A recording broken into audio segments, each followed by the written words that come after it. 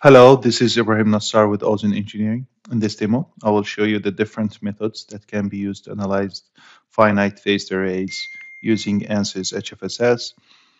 Um, we will be using ANSYS 2024 R2 release here. Uh, we will start this demo by a unit cell model of a simple patch antenna that operates at 30 gigahertz and fed by a coaxial feed from the bottom side. This model was created uh, using the antenna toolkit. Here we created an airbox to surround the antenna and touch the substrate from all the sides. And we're using uh, lattice pair boundaries to model the periodicity of this uh, unit cell. And from the top side, we're using radiation boundary. The first method to, that can be used to analyze phased array is the explicit method. So here I already created the mo model of 8 by 8 and the, the way we created this is basically by copying the unit cell and place the geometry or duplicating it. So this is the traditional approach to analyze the entire array.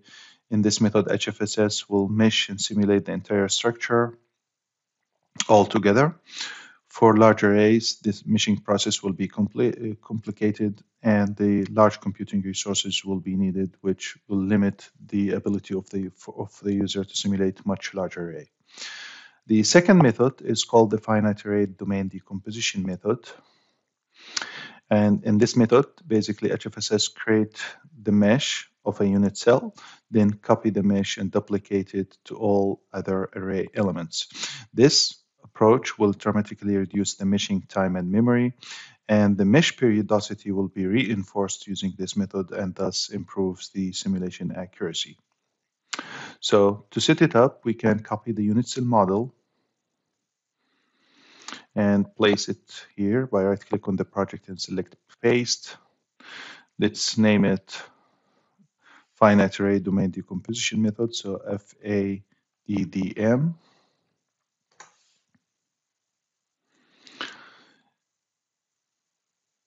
And let's open the analysis setup by double click on the solution setup here. So we will be, instead of re-meshing the unit cells, we can just import the mesh from the unit cell model. So we solve first the unit cell and create the mesh. Then we come here and import that mesh using this project and select the unit cell model. You can use these options to preserve the source design solution if needed.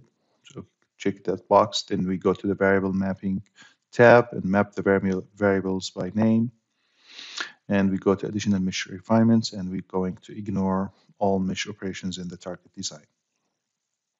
So we just need to copy the mesh from that unit cell model. So we can go back here and reduce the maximum number of passes to one. So to just perform one adaptive pass here. And the solver that has to be used here is the domain decomposition, which will be implemented to distribute the mesh and access a distributed RAM throughout a network which will allow to simulate much larger arrays with reduced simulation time. Okay, so now we brought the mesh from the unit cell model. Simply here, in this method, we can just create the array by right-click on the model and select create array. So we want to have 8 by 8 to be similar to the explicit method. So then we select the vector so for vector A, let's have lattice pair 1, and for vector B, let's have lattice pair 2. In the explicit method, there was no padding cells, so let's reduce that number to 0 to make them identical. And we can check the box here for visibility. And all the cells will be active. So hit apply. So now simply you see it's simple this, in this method, it's very simple to create the array geometry. And now the model is ready to simulate, so we can just right, click on the analysis setup and hit analyze. The third method uh, to analyze arrays is the, what's called the 3D component array method. So it's similar to the FADDM method. However, the unit cell in this case has to be created using 3D components. It utilizes efficient domain decomposition method here, and the simulation technique will enables faster simulation and less memory usage compared to FADDM. And it can leverage again the distributed computing resources. The other benefit of using the 3D component array method is that it allows the user to insert different 3D component unit cells, which will allow modeling finite semi-periodic structures that contains non-identical unit cells for increased flexibility. How do we set it up? We can go back to the unit cell model, and the first thing we have to do is to create uh, a 3D component. To do that, we can go to selection mode of objects. Here we can hit Control A to select all the objects, then right click and select Create 3D Component. We can give it a name and just hit OK and save it somewhere in this machine. So let's save it here. Yes.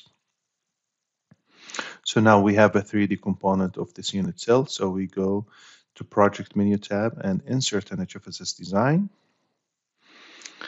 And let's name it to be component array DDM, so CADDM.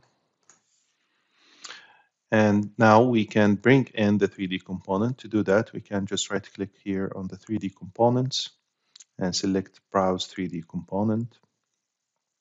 And we can select that 3D component and hit open. And here you can place it anywhere you need by creating a target coordinate system or relative coordinate system. So here, let's keep it to the global one and hit OK.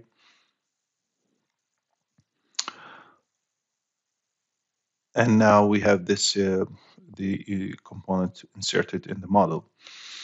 Uh, to be able to use this method, you have to change the solution type. To do that, we go to the HFSS menu tab and select solution type and the solution type here has to be HFSS with hybrid and arrays.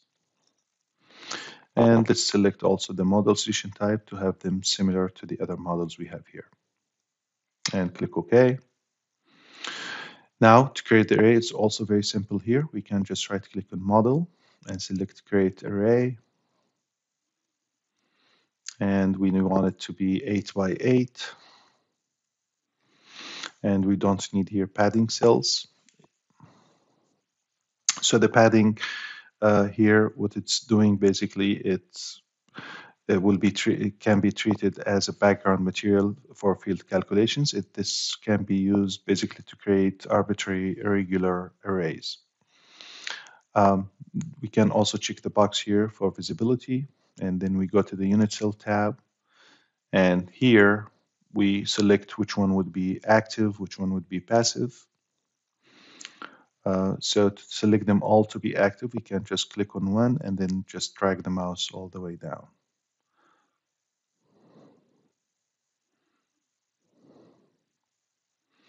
Okay, so now they are all active. Okay, and we hit to apply, close that. So now the model is created. So what we need now is to create an analysis setup. So we right click on analysis and we add the solution setup and let's select advanced. And let's increase the number of passes to 10 and the frequency to be 30 gigahertz. The solver again that has to be used here is the domain decomposition to be able to use this method.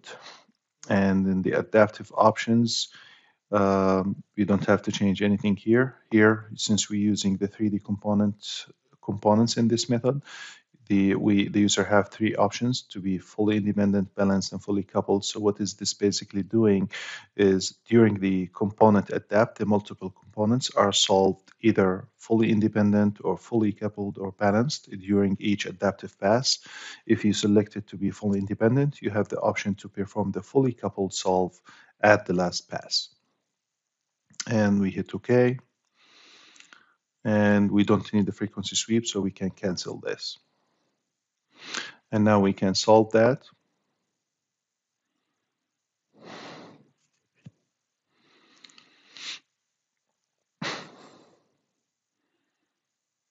Here for these simulations, you can adjust the number of cores you're using by going to Tools, Options, HPC and Analysis Options, and then click edit.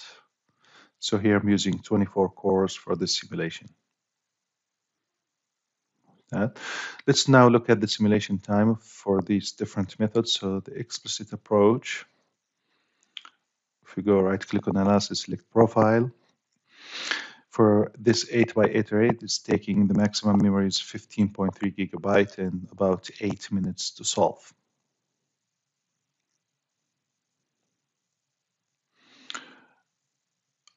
If we go to the FADDM method, which has completed the simulation,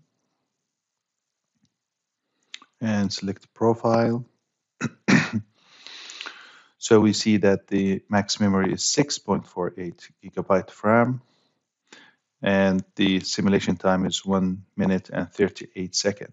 So that's a significant reduction of RAM of about like factor of almost 5 and the simulation time of a factor I'm sorry, uh, the simulation time by a factor of almost 5 and the RAM reduction is a factor by about 2.3. And let's see now how the component DDM method by right click on setup, select profile.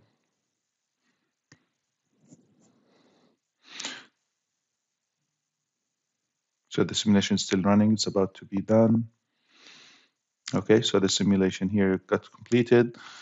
So we see the RAM is now 5.3 gigabyte, which is a further reduction in compared to the FADDM, and the simulation time is similar here uh, for the FADDM. Um, for larger arrays with more computing resources, you can you will be able to see much larger uh, RAM reduction and much uh, speed up, much more speed up in, in the simulation time. In this demo, we created a uniform 8 by 8 array, but we there are different things we can do here to create shaped arrays and change the components. So in the component array DDM method, we can double click on the array we created and we can control um, we can control the component rotations here so we can rotate some of the component and in the FADDM as well we can create shaped arrays. By double click on the array we created. And if we go to active cells you can select some of the unit cells and make them padding to create any shaped arrays or sparse arrays. Here uh, other things can be done here. So in, in this demo, we created there by right click on model and select create array. But for much larger arrays, you can create the array through a CSV file for speeding uh, up the, the array creation process. So this concludes this demo and thank you for watching.